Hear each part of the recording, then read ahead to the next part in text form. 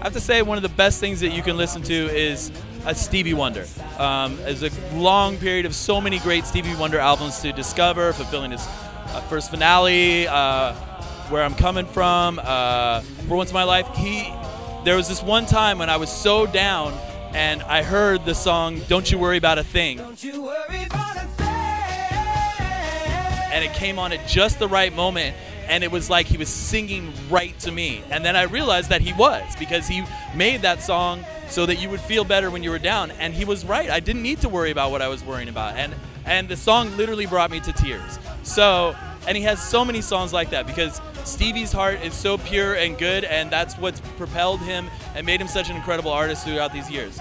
And so there's so many great stevie wonder records. Look them up